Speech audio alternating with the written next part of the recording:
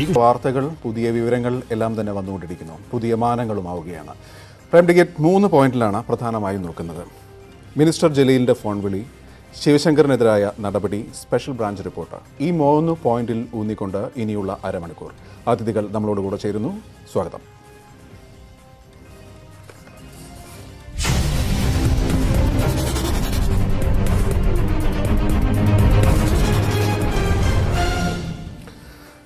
C P എമ്മിൽ നിന്നും Shri V Sivadasan കൂടാതെ രാജ്മോഹൻ മുൻ S P N I A കൂടാതെ doctor V G Hari Congress എന്നിവരാണ് ഈ ഘട്ടത്തിൽ നമ്മളോട് കൂടെ ചേരുന്നത്. ആദ്യം ശ്രീ ശിവദാസനിലേക്ക്. ശ്രീ ശിവദാസൻ ഇന്ന് മന്ത്രി ജലീൽ പറഞ്ഞൊരു കാര്യമുണ്ട്.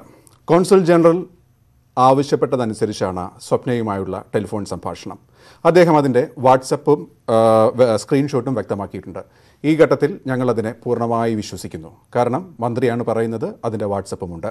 അങ്ങനെയാണെങ്കിൽ നാല് മാസം നാലാം മാസത്തിലാണ് ഈ കോൺവെർസേഷൻ നടന്നിട്ടുള്ളത് എന്ന് പറയപ്പെടുന്നു. അതിനും എത്രയോ മുമ്പ് കോൺസുലേറ്റിൽ നിന്നും പുറത്തുപോയി സർക്കാർ സംവിധാനത്തിൽ സർക്കാരിന്റെ കരാർ തൊഴിലാളിയായി ജോലി ചെയ്യുന്നു സ്വപ്ന.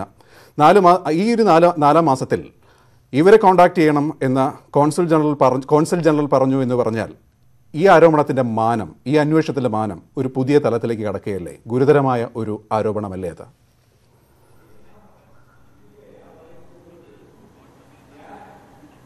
കെ ടി ജലീൽ വളരെ കൃത്യമായ എവിഡൻസോടുകൂടിയാണ് പത്രമാധ്യമങ്ങളോടൊക്കെ സംസാരിച്ചിട്ടുള്ളത്. നിങ്ങൾക്കും ബോധ്യമാണ് കേട്ട എല്ലാവർക്കും ബോധ്യമാണ് കാരണം എന്താണ്? അദ്ദേഹം തന്നെ പറഞ്ഞു സാധാരണഗതിയിൽ ഞാനിങ്ങനെ മെസ്സേജൊന്നും സൂക്ഷിച്ചു വെക്കുന്ന ശീലങ്ങളില്ല.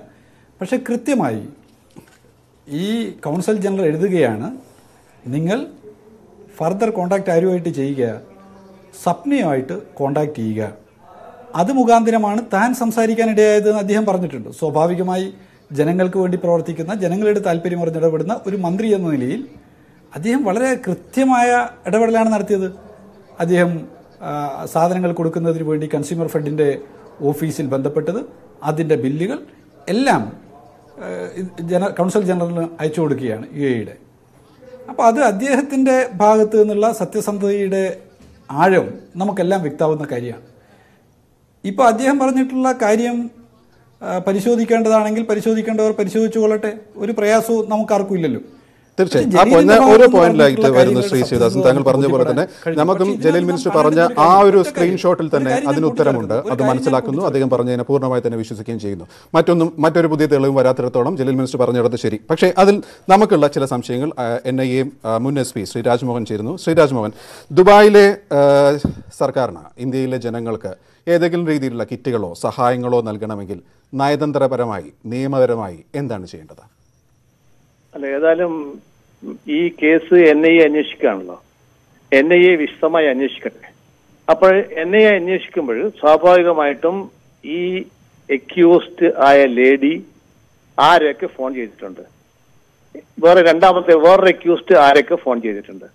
ഇത്രയും ആൾക്കാർ ഫോൺ ചെയ്തത് സ്വാഭാവികമായിട്ടും കോൾ ലിസ്റ്റ് ഉണ്ട്. ആ കോൾ ലിസ്റ്റ് എടുത്ത് എൻ ഐ അന്വേഷിക്കും. പക്ഷെ എൻ ഐ അന്വേഷിക്കുമ്പോൾ ഈ പറഞ്ഞ മാതിരി എൻ ഐ എ അന്വേഷിക്കുന്ന സമയത്ത് ഈ പ്രോട്ടോക്കോളുകളും ബാക്കി കാര്യങ്ങളും അന്വേഷിക്കും. ഒരു വിദേശ രാജ്യത്ത് നിന്ന് എങ്ങനെയാണ് ഒരു ഒരു ഒരു ആയിട്ട് ഒരു സോഷ്യൽ വർക്ക് അത് ക്യാഷ് ആയിട്ട് ഒരു മിനിസ്റ്റർ എങ്ങനെ ഏൽപ്പിക്കും? ഇതൊക്കെ അന്വേഷിക്കേണ്ട വിഷയമാണ്. സാർ. മനസ്സിലാക്കി. സാർ ഇതിന്റെ പ്രോട്ടോകോൾ അറിയുന്നതുമാണ്. വിദേശ രാജ്യത്ത് നിന്ന് ക്യാഷ് ഇൻവോൾവഡ് ആയിട്ടുള്ള ഒരു സോഷ്യൽ വർക്ക് നടത്തുമ്പോൾ അത് കേന്ദ്ര സർക്കാർ അറിയേണ്ടതല്ലേ? അറിയേണ്ടതുണ്ടോ? ഞാൻ എന്റെ സംശയം ചോദിക്കുകയാണ്. തീർച്ചയായിട്ടും. കാരണം ഇത്രയുള്ള കാര്യങ്ങൾ ഒരു മിനിസ്റ്റർ ചെയ്യുമ്പോൾ സ്വാഭാവികമായിട്ടും ആ മിനിസ്റ്റർ ഇത്തരത്തിലുള്ള സോഷ്യൽ വർക്ക് ചെയ്യുന്നുണ്ടെങ്കിൽ അതുപോലെ അവിടുന്ന് ഫൈനാൻസ് കിട്ടുന്നുണ്ടെങ്കിൽ അത് ചെയ്തതിന് ശേഷം അറ്റ്ലീസ്റ്റ് സെൻട്രൽ ഗവൺമെന്റ് അറിയിക്കണം. അല്ലെങ്കിൽ ശരിക്കും ത്രൂ പ്രോപ്പർ ചാനലിൽ കൂടി വരേണ്ട ഒരു സംവിധാനമാണ്. അപ്പൊ അങ്ങനെ വരാതെ ഇതൊക്കെ ചോദ്യങ്ങളാണ്. അന്വേഷണം ഇതൊക്കെ ഈ കേസിനെ എങ്ങനെ ബാധിക്കുന്നു എനിക്കറിയത്തില്ല. പക്ഷേ ഓക്കെ ഞാൻ ഞാൻ എന്റെ സംശയങ്ങളാണ് സാർ ചോദിക്കുന്നത്. അത് പ്രോപ്പർ ചാനലാണെങ്കിൽ അത് കേന്ദ്രത്തിന് അറിയിക്കണം. രണ്ടാമത് ദുബായ്ക്കാർക്ക് ദുബായ് സർക്കാരിന് ഇന്ത്യയിലെ ജനങ്ങൾക്ക് സാമ്പത്തികം ഗിഫ്റ്റ് സാമ്പത്തികം അടങ്ങുന്ന ഒരു ഗിഫ്റ്റ് കൊടുക്കണമെങ്കിൽ അതിന് കോൺടാക്ട് ചെയ്തിട്ടുണ്ട് കോൺടാക്ട് ചെയ്യേണ്ടത് സംസ്ഥാന സർക്കാരിലെ ഒരു മന്ത്രിയെയാണോ? അത് അദ്ദേഹത്തിന് ന്യൂനപക്ഷ ക്ഷേമം എന്ന വകുപ്പുണ്ട് എന്ന് തന്നെ വെക്കാം എങ്കിലും അങ്ങനെയാണോ പ്രോട്ടോകോൾ അനുസരിച്ച്? ഇതൊക്കെയാണ് ഇതൊക്കെയാണ് ചോദ്യം. നമ്മൾ ഇൻവെസ്റ്റിഗേറ്റ് ചെയ്യുമ്പോൾ സ്വാഭാവികമായിട്ട് ഇതൊക്കെ ഇൻവെസ്റ്റ് ചെയ്യും. ഇതിന്റെ പ്രോട്ടോകോൾ നോക്കും. എങ്ങനെയാണ് ഒരു ദുബായ് കോൺസുലേറ്റിന് ഒരാൾ ഒരു ഒരു ഒരു സോഷ്യൽ വർക്ക് കേരളത്തിൽ ചെയ്യുക. അപ്പൊ കേരളത്തിൽ അവർ അവർ തന്നെ ഒരു മീറ്റിംഗ് വെച്ചിട്ട് കൗൺസിലിൽ നിന്ന് തന്നെ സാധനം വിതരണം ചെയ്തത് വേറെ സംഭവമാണ്. പക്ഷെ കൗൺസിലേറ്റ് ക്യാഷ് അതായത് ഇവിടുത്തെ ഒരു ഏജൻസി ഇവിടുത്തെ മിനിസ്റ്ററോ അല്ലെങ്കിൽ വേറെ ഏജൻസിയോ വേറെ ആരെങ്കിലും ഇത്തരത്തിൽ ഒരു ക്യാഷ് മുഖാന്തരം അവരുടെ കോൺസ്റ്റൻസിയിൽ അവരുടെ കൺട്രോളിൽ ചെയ്യുന്നത് അത് വേറൊരു ചാരിറ്റി വർക്കാണ്. ആ ചാരിറ്റി വർക്കിൽ എങ്ങനെയാണ് ഈ ക്യാഷ് സംബന്ധമായ ഡീലിങ്സ് ഒരു ഫോറിൻ കൺട്രി ആയിട്ട് നടത്തുമെന്ന് അത് അന്വേഷണ വിധേയമാണ് പ്രോട്ടോകോൾ പ്രകാരം അത് സെൻട്രൽ ഗവൺമെന്റിന്റെ പരിധിയിൽ വരുന്ന സാധനമാണ്. അത് സെൻട്രൽ ഗവൺമെന്റും കൂടി അറിയേണ്ട ഒരു ആവശ്യമുണ്ടെന്നാണ് എനിക്ക് തോന്നുന്നത്. സാർ തുടരുക. ശ്രീ ശിവദാസൻ സോഷ്യൽ വർക്കാണ് മനുഷ്യർക്ക് നല്ലത് കിട്ടുന്നുണ്ടെങ്കിൽ നല്ല കാര്യം. പക്ഷേ അതിനൊരു പ്രോട്ടോകോൾ ഇല്ലേ ആ പ്രോട്ടോകോൾ അനുസരിച്ചാണ് മന്ത്രി ജലീൽ മുന്നോട്ട് പോയതെന്ന് ഈ ഘട്ടത്തിൽ പൂർണമായും പാർട്ടിയും സർക്കാരും പറയുന്നു.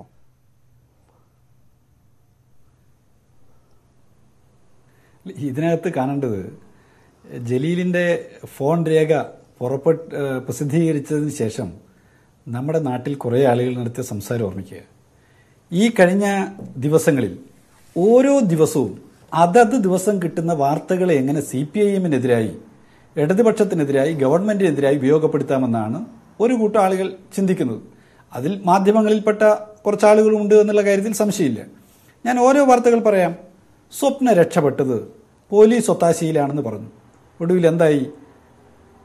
കാര്യങ്ങൾ വ്യക്തമായി. ബി ജെ പി ഓഫീസിനടുത്താണ് അവർ താമസിച്ചതെന്നും ബാംഗ്ലൂരിലാണെന്നും കർണാടക ഭരിക്കുന്നത് ബി ജെ പി ആണെന്നും എന്നുള്ളതെല്ലാം നമ്മുടെ മുമ്പിലേക്ക് പച്ചയായ യാഥാർത്ഥ്യങ്ങളായിട്ട് വന്നല്ലോ.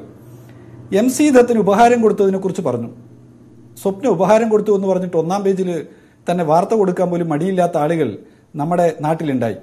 പിന്നീട് ആ പ്രചരണത്തിന്റെ എല്ലാം ഭാഗമായി നിന്ന മാധ്യമ സ്ഥാപനങ്ങളിൽ നിന്ന് തന്നെ അങ്ങനെയല്ല സംഭവം. എം സി ദത്തൻ കേരളത്തിലെ മുഖ്യമന്ത്രിയുടെ ശാസ്ത്ര ഉപദേഷ്ടാവ് അദ്ദേഹം ഒരു ഉപഹാരം കൊടുക്കുമ്പോൾ ആ ഉപഹാരം എടുത്തു കൊടുക്കുക മാത്രമാണ് ഈ വിവാദത്തിൽപ്പെട്ടിട്ടുള്ള സ്ത്രീ ചെയ്തത് എന്ന് അവർക്ക് തന്നെ തിരുത്തി പറയേണ്ടി വന്നു.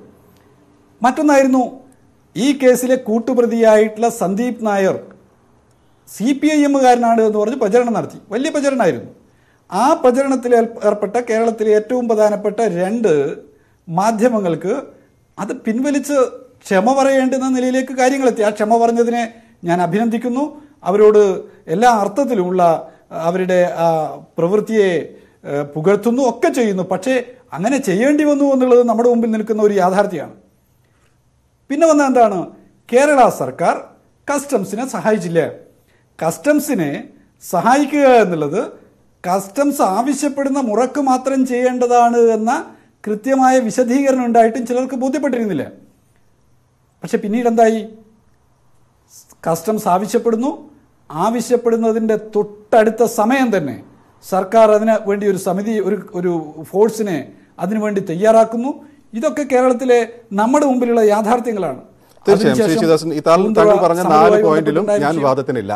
ഞാൻ ചോദിക്കുന്ന ഒരേ ഒരു പോയിന്റ് ഉള്ളൂ. ഞാൻ ഇതുകൂടി പറഞ്ഞിട്ട് അവസാനിപ്പിക്കാം. ഇതുകൂടി പറഞ്ഞിട്ട് ഞാൻ അവസാനിപ്പിക്കാം. പൂന്തുറയുടെ വിഷയത്തിൽ ഇത് ഞാൻ അതിലേക്ക് വരാം. ഞാൻ അതിലേക്ക് വരികയാണ്.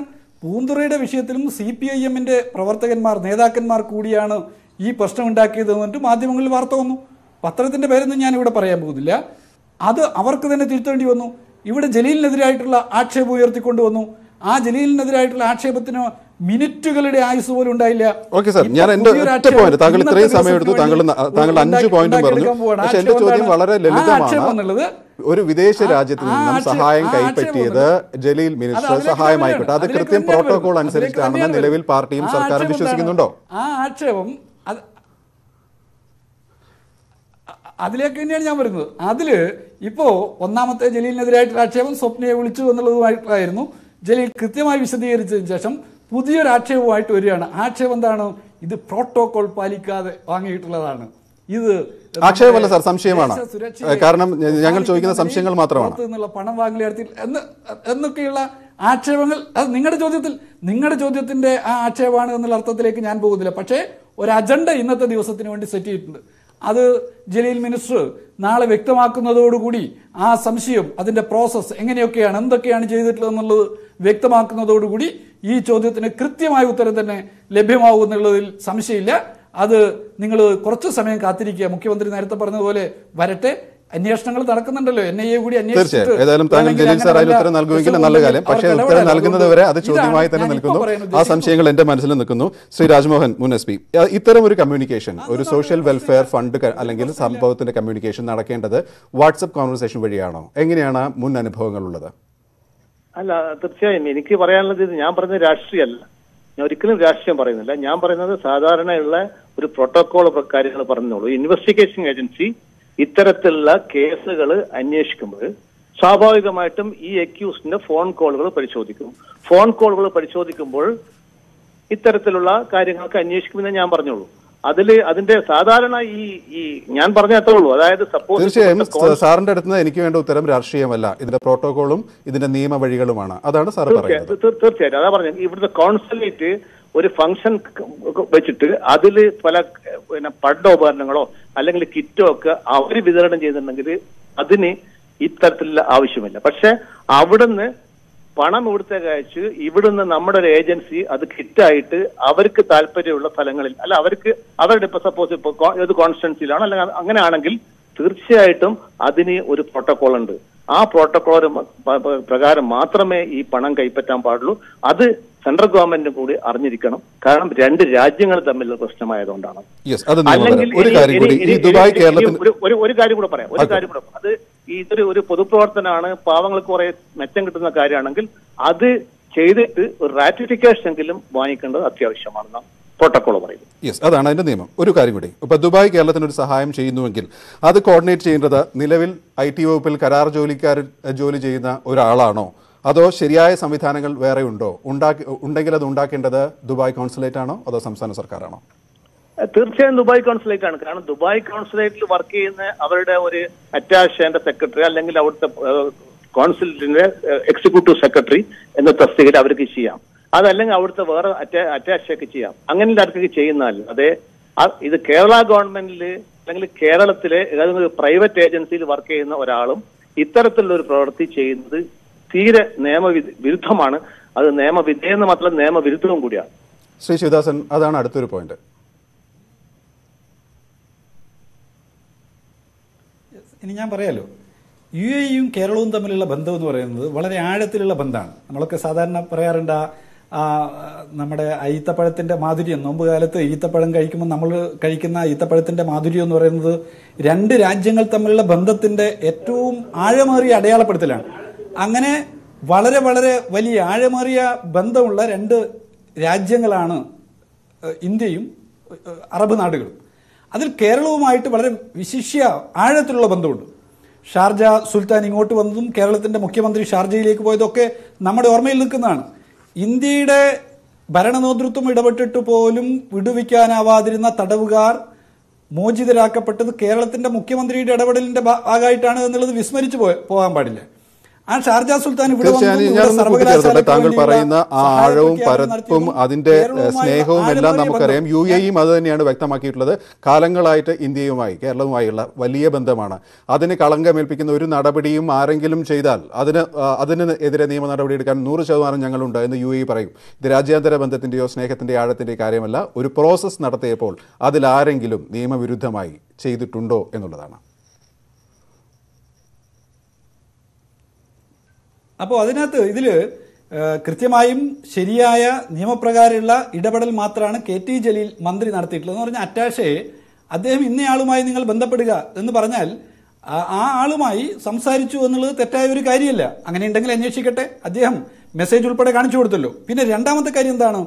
ഇപ്പൊ എൻ ഐ എയുടെ അന്വേഷണം നടക്കുകയാണ്. ഈ കൂട്ടത്തിൽ ഒരു കാര്യം കൂടി ഞാൻ ഓർമ്മപ്പെടുന്നത് എൻ ഐ എയുടെ ഫസ്റ്റ് ഇൻഫർമേഷൻ റിപ്പോർട്ട് വന്നു കഴിഞ്ഞു. എൻക്വയറിയുടെ എഫ് ഐ ആർ വന്നു കഴിഞ്ഞു. ആ എഫ് ഐ ആറിൽ എൻ ഐ എ പറഞ്ഞിട്ടുള്ളതായി ഞാൻ മനസ്സിലാക്കുന്നത്. നിങ്ങളുടെ കയ്യിൽ ഉൾപ്പെടെ എഫ് ഐ ആർ ഒക്കെ കിട്ടിയിട്ടുണ്ടാവുമല്ലോ. അത് അവർ പറയുന്നതായിട്ട് മനസ്സിലാക്കാൻ കഴിഞ്ഞിട്ടുള്ളത് പതിനാല് ആളുകളിൽ നിന്ന് സ്വർണം പിടിച്ചു എന്നാണ് അത്രേ പറയുന്നത്. ഞാൻ സൂചിപ്പിച്ചത് നിങ്ങൾക്കുൾപ്പെടെ ഒരു ഒരു ഞാൻ കണ്ടു ഇപ്പോൾ ഏഷ്യാനെറ്റ് ന്യൂസിലായിരുന്നു ശ്രീ രാജീവ് പി രാജീവ് ആ വിഷയം സംസാരിക്കുന്നുണ്ടായിരുന്നു. അപ്പോൾ തൊട്ട് ഞാൻ എന്റെ എഫ്ഐആർ ഐ ആർ വായിച്ചുകൊണ്ടിരിക്കുകയാണ്. പിന്നെ ഈ ചോദ്യങ്ങളുടെ തിരക്കിലായതുകൊണ്ടാണ് അതിലൊരു ക്ലാരിഫിക്കേഷൻ ഞാൻ വരാം. അല്പസമയത്തിന് നമ്മളെ വായിച്ചിട്ട് അതിന് തീരുമാനം വരാം. താങ്കൾ തുടർന്നു അപ്പൊ പതിനാല് ആളുകളിൽ നിന്ന് സ്വർണം പിടിച്ചു എന്നൊക്കെ പറഞ്ഞിട്ടാണ് എഫ് ഐ ആർ രജിസ്റ്റർ നമ്മളെ അമ്പരപ്പിക്കുന്ന നിലയിലാണ്. അങ്ങനെ രജിസ്റ്റർ ചെയ്തത് ശരിയായ കാര്യമാണോ എന്നുള്ളത് കൂടി നമ്മുടെ റിട്ടയർഡ് എസ് ഒന്ന് വിശദീകരിക്കുന്നത് നല്ലതായിരിക്കും എന്നുള്ളത് എനിക്ക് തോന്നുകയാണ്. യെസ് നമുക്ക് ഏത് കാരണം ഞാൻ ആ ജാമ്യാപേക്ഷ വായിച്ചുകൊണ്ടിരിക്കുകയാണ്. നമുക്ക് അങ്ങനെ ഒരു ക്ലാരിഫിക്കേഷൻ അദ്ദേഹം പറഞ്ഞ സാധനം ശരിയാണെങ്കിൽ നമുക്ക് അതിലേക്ക് കിടക്കാം. പക്ഷേ എനിക്ക് പൂർണമായ ഉറപ്പില്ലാതെ ഞാൻ ചോദിക്കുന്നത് ശരിയല്ലല്ലോ. അതുകൊണ്ടാണ്. ക്ഷമിക്കണം സാർ. വരും മണിക്കൂറിൽ താങ്കൾ നേരത്തെ ജലീൽ സാഹിബ് വരും മണിക്കൂറുകളിൽ ഉത്തരം പറയും എന്ന് പറഞ്ഞ പോലെ തന്നെ ഈ ഒരു കാര്യവും വരും മണിക്കൂറുകളിൽ വ്യക്തമാകുകയും ചെയ്യും. ഒരു സംശയം കൂടി ഈ സ്വപ്നയുടെ ജാമ്യാപേക്ഷയിലും പറയുന്ന ഒരു കാര്യമുണ്ട്. കൗൺസിലേറ്റ് കോൺസുലേറ്റ് പറഞ്ഞതനുസരിച്ചാണ് ഈ സ്വർണ സ്വർണമടങ്ങിയ ബാഗ് അല്ലെങ്കിൽ ഇപ്പോൾ ഈ വിവാദമായ പെട്ടി അത് ശേഖരിക്കാനോ അല്ലെങ്കിൽ അതിനെപ്പറ്റിയോ അന്വേഷിക്കാൻ പോയത് എന്ന് പറയുന്നു. ഇപ്പോൾ ജലീൽ മിനിസ്റ്റർ പറഞ്ഞതും കോൺസുലേറ്റ് പറഞ്ഞിട്ടാണ് ഞാൻ സ്വപ്നയെ വിളിച്ചത് അല്ലെങ്കിൽ സ്വപ്ന വിളിച്ചത് എന്ന് പറയുന്നു. എന്റെ ചോദ്യം ശ്രീ രാജ്മോഹനാണ്.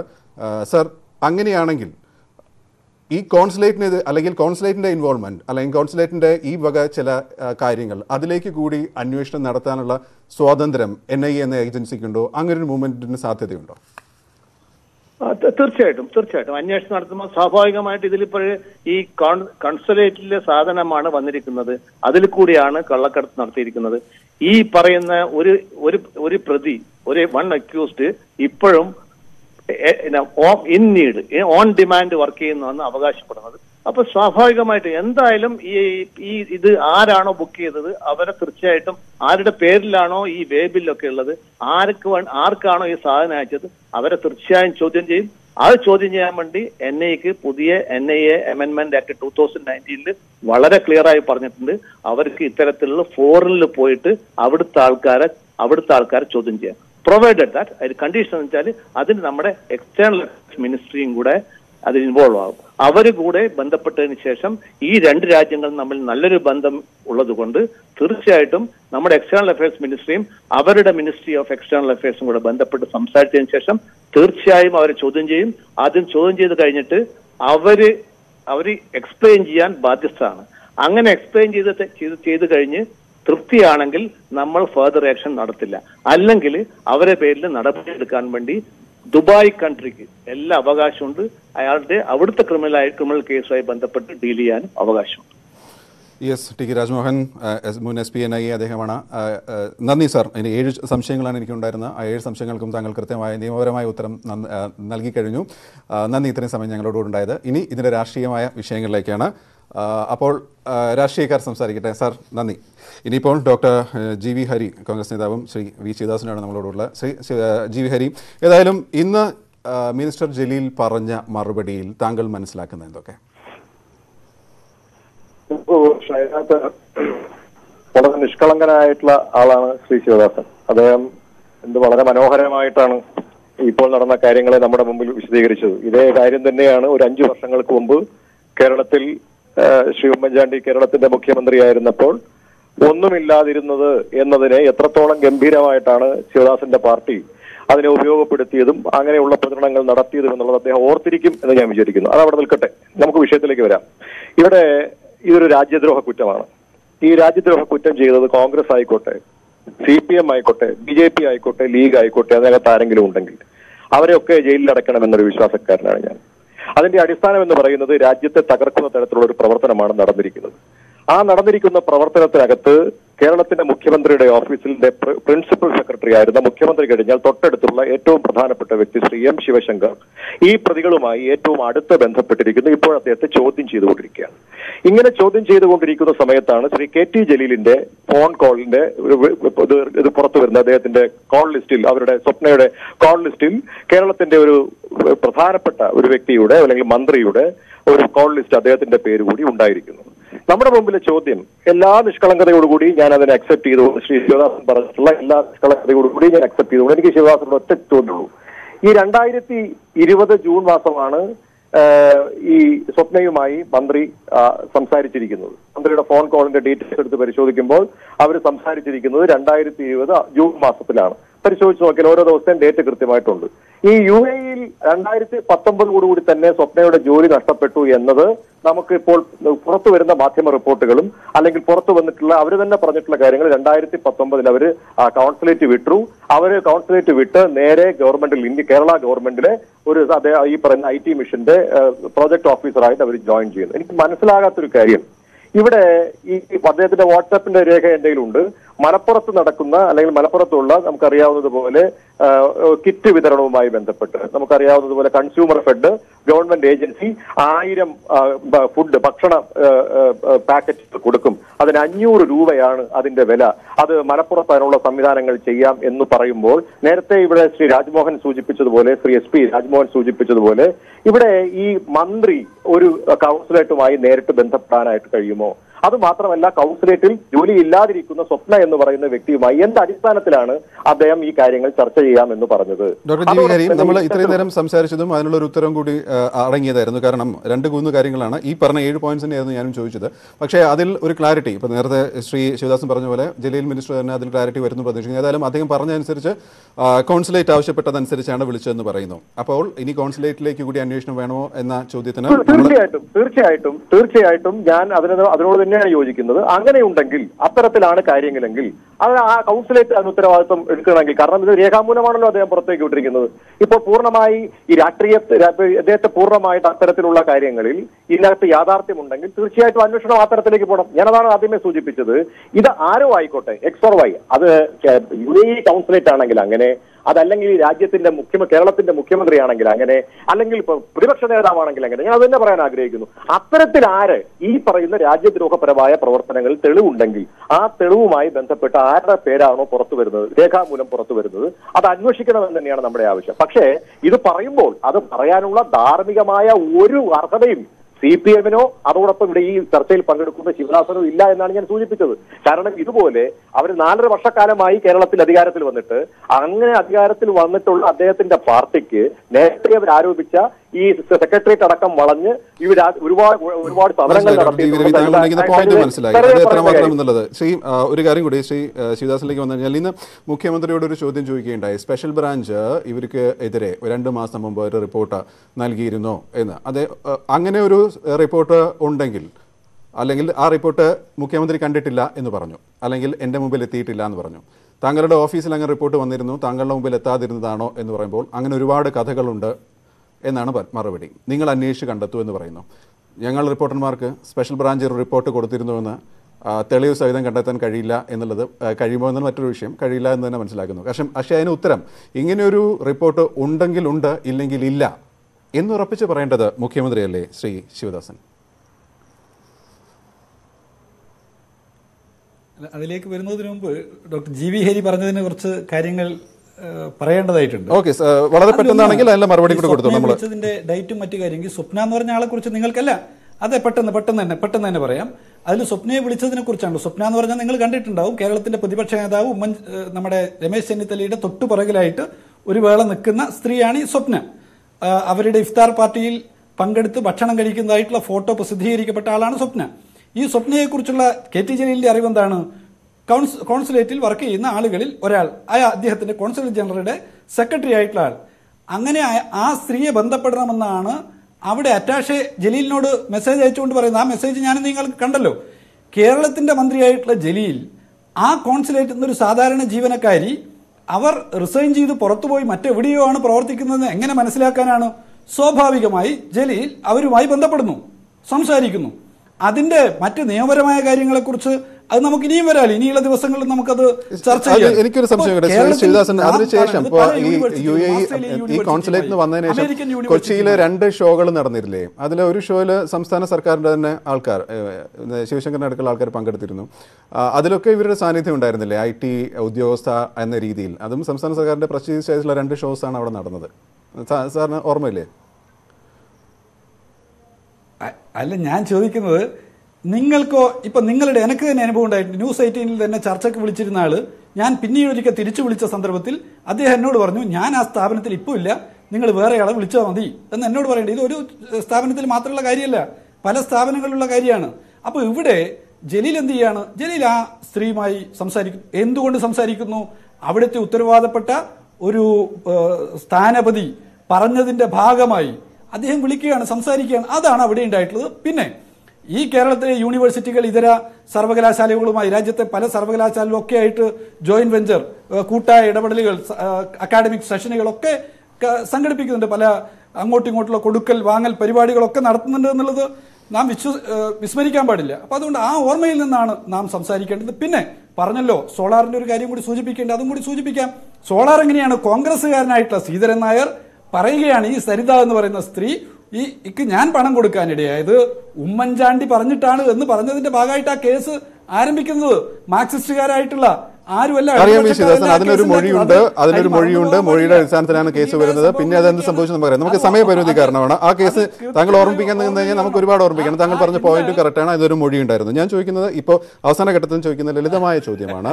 ഇത്തരം ഒരു ഷേഡി ക്യാരക്ടർ എന്നിപ്പോൾ വിവാദത്തിൽപ്പെട്ട സ്ത്രീ എന്ന് തന്നെയാണ് മുഖ്യമന്ത്രി പറയുന്നത്. ഇത്തരം ഒരു ഷേഡി ക്യാരക്ടർ രണ്ടാഴ്ച മുമ്പ് വരെ വളരെ സ്വാധീനമായി നിൽക്കുമ്പോഴും അത് അവരുടെ ഒരു സ്വാധീന വലയത്തെക്കുറിച്ചിട്ടോ അവരുടെ ഇടപാടിനെ കുറിച്ചിട്ടോ ഒരു സൂചനയും നമ്മുടെ മുഖ്യമന്ത്രിക്ക് നൽകാൻ നമ്മുടെ സ്പെഷ്യൽ ബ്രാഞ്ചിന് കഴിയുന്നില്ലേ?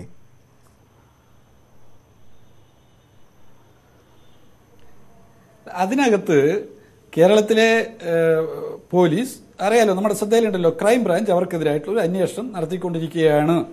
അതിന്റെ വിശദാംശങ്ങളെല്ലാം വേറെ ചർച്ച ചെയ്തു എന്നുള്ളത് കൊണ്ട് ഞാൻ അതിന്റെ ഡീറ്റെയിൽസിലേക്ക് പോകുന്നില്ല. നിങ്ങൾ മനസ്സിലാക്കേണ്ടുന്ന ഒരു കാര്യം സാർ നമ്മുടെ മുഖ്യമന്ത്രിയുടെ ചുറ്റുവട്ടത്ത് ഇത്രയും അപകടകരകാരികളായ കുറച്ച് ആൾക്കാരുണ്ടെങ്കിൽ അത് നമ്മുടെ പോലീസ് സൂചന നൽകണ്ടേ? അതെന്താ അവർക്ക് കഴിയാത്തത്? പ്രൊഫഷണലിസം ഇല്ലായ്മയാണോ? അതോ സൂചന നൽകിയിട്ടും അത് അദ്ദേഹത്തിന്റെ ശ്രദ്ധയിൽപ്പെടാത്തതാണോ? അല്ല നിങ്ങൾ കാണേണ്ടത് ഇന്ദിരാഗാന്ധിനെ വെടിവെച്ചു കൊന്ന രാജ്യമല്ലേ ഇത്? അല്ലേ? ഇന്ത്യയുടെ പ്രധാനമന്ത്രിനെയല്ലേ വെടിവെച്ചു വന്നത് രാജീവ് ഗാന്ധിയെ ഇന്ത്യയുടെ പ്രധാനമന്ത്രി ഇന്ത്യയുടെ ഏറ്റവും പ്രധാനപ്പെട്ട നേതാവായിരുന്നില്ല? അദ്ദേഹത്തെ ബോംബ് വെച്ചിട്ടല്ലേ അദ്ദേഹത്തെ കൊന്നത്? എന്താ ഇന്റലിജൻസ് വിങ് അന്ന് വിവരം കൊടുക്കാതായി പോയത്? ഇങ്ങനെ പല സംഭവങ്ങളും ഈ രാജ്യത്ത് ഉണ്ടായിട്ടുണ്ട് അപ്പൊ ചിലത് ഇന്റലിജൻസ് വിവരം കൊടുത്തിട്ടില്ല എന്നാണോ ഭരണത്തിന്റെ സാറ് പറയുന്നത്? ആളുകൾ ശ്രീ ശിവദാസൻ ഇന്റലിജൻസ് വിവരം കൊടുത്തിട്ടില്ല എന്നാണ് എന്തെല്ലാം- പറയുന്നത്. എന്തെല്ലാം എന്തെല്ലാം മുഖ്യ മുഖ്യമന്ത്രി അത് സംബന്ധിച്ച് കൃത്യമായി പറഞ്ഞിട്ടുണ്ടല്ലോ. പത്രങ്ങളാണല്ലോ പറഞ്ഞത്. ഇന്റലിജൻസ് വിവരം കൊടുത്തിരുന്നു. വിവരം കൊടുത്ത് മുഖ്യമന്ത്രിയെ കാണിക്കാതിരിക്കുകയാണ് ചെയ്തെന്നൊക്കെ പത്രങ്ങളാണ് റിപ്പോർട്ട് ചെയ്തത്. അദ്ദേഹത്തോട് ചോദിച്ചപ്പോൾ അദ്ദേഹം വളരെ വ്യക്തമായി തന്നെ വ്യക്തമായി പറഞ്ഞില്ല. അതുകൊണ്ടാണ് സംശയം. ഇന്റലിജൻസ് എനിക്ക് വിവരം തന്നില്ല എന്ന് പറയാം. അല്ലെങ്കിൽ തന്നു എന്ന് പറയാം. അതൊന്നും അദ്ദേഹം പറഞ്ഞില്ല. അതുകൊണ്ടാണ്. എന്ന് പറഞ്ഞാൽ നിങ്ങൾക്ക് കിട്ടിയിട്ടുണ്ടെങ്കിൽ നിങ്ങൾ പുറത്തു വിടുക എന്ന് അദ്ദേഹം പറഞ്ഞു. അതിന് പറഞ്ഞ അതിന്റെ പറഞ്ഞതിന്റെ അർത്ഥം എന്താണ്? അദ്ദേഹത്തെ ആ ഓഫീസുമായി ബന്ധപ്പെട്ട് നിങ്ങളൊരു വാർത്ത ചെയ്തു കഴിഞ്ഞു. ആ ചെയ്തതിനെ കുറിച്ച് അദ്ദേഹം അപ്പോൾ അടുത്ത. ചോദ്യമായ റിപ്പോർട്ടർ ചോദിച്ചു. ഇന്റലിജൻസ് അങ്ങനെ വിവരം തന്നില്ലെങ്കിൽ പരാജയമല്ലേ എന്ന് ചോദിച്ചു. മുഖ്യമന്ത്രി ഒറ്റ വാക്കിൽ വാക്കിലൊതുക്കി അത് പരിശോധിക്കാം എന്ന്. അത് അതിൽ പറഞ്ഞല്ലോ ഇവിടെ ഇന്ത്യ രാജ്യത്തിൽ എത്ര എത്ര സംഭവങ്ങൾ ഉണ്ടാവുന്നു. ഡി ആർ ഡി ഒയിൽ ബി ജെ പിക്കാരനായ വ്യക്തിയല്ലേ പാസ് ഉണ്ടാക്കിയിട്ട് വലിയ തട്ടിപ്പ് നടത്തിയിട്ട് കേരള പോലീസല്ലേ അറസ്റ്റ് ചെയ്തിട്ട് കൊടുത്തത്? അപ്പം അത് ഇപ്പോൾ ഏറ്റവും ഒടുവിൽ ഞാനിപ്പോൾ ഇവിടെ പറഞ്ഞിട്ടുള്ള കാര്യമുണ്ടല്ലോ എഫ് ഐ ആർ തയ്യാറാക്കിയിട്ടുള്ള എങ്ങനെയാണെന്നുള്ളത് വിശദീകരിച്ചല്ലോ. അപ്പോൾ ഓരോന്നും കേരളത്തിലേക്ക് സ്വർണം കൊണ്ടുവരുന്നതിന്റെ കണ്ണികളെ നമുക്ക് പിടിക്കണം. കള്ളക്കടത്തുകാരെ നമുക്ക് പിടിക്കണം. ഈ രാജ്യത്ത് കുഴപ്പമുണ്ടാക്കാൻ നിൽക്കുന്ന ആളുകളെ പിടിക്കണം. അതിനുവേണ്ടി നാം ശ്രമിക്കുമ്പോൾ സംസ്ഥാനത്താകെ കൊറോണ വ്യാപിപ്പിച്ച് ജനങ്ങളെ കൊല്ലാൻ നടക്കുന്ന ആളുകൾ അതിൽ നിന്ന് പിന്തിരിയണം എന്നുള്ളതാണ്. ശശിദാസൻ സമയം കാരണമാണ് ഇടപെടുന്നു തീരുന്നു. ഏതായാലും മൂന്ന് പോയിന്റുകളായിരുന്നു. മിനിസ്റ്റർ ജലീലിന്റെ ഫോൺ വിളി സംബന്ധിച്ച് പിന്നെ സ്പെഷ്യൽ ബ്രാഞ്ച് റിപ്പോർട്ട് സംബന്ധിച്ചായിരുന്നു നമ്മൾ ചർച്ച ചെയ്ത് ഇത്രയും നേരം നമ്മളോട് സംസാരിച്ച അതിഥികൾക്കെല്ലാം തന്നെ സംശയങ്ങളിൽ ഇപ്പോഴും തന്നെ ബാക്കിയായി നിൽക്കുന്നു. വരും ദിവസങ്ങളിലോ വരും മണിക്കൂറുകളിലോ അതിന് ക്ലാരിറ്റി ഉണ്ടാവട്ടെ എന്ന് പ്രതീക്ഷിക്കുന്നു. വളരെ നന്ദി സഹ- സഹകരിച്ച എല്ലാ അധികാരിക്കും. പരണ്ടി വ്യക്തമാകുന്നു നമസ്കാരം. you